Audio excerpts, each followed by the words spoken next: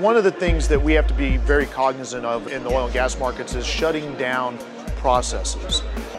So these guys are very, very sensitive uh, to the amount of time that they're offline. So anything that we can do to save them money on the maintenance piece is huge.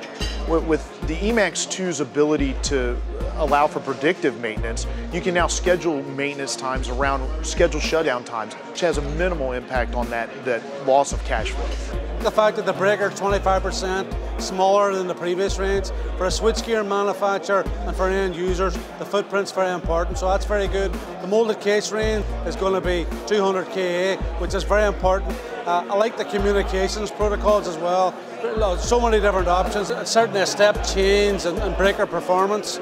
It really is. You know, that 25% size reduction is absolutely huge in, in the oil and gas markets.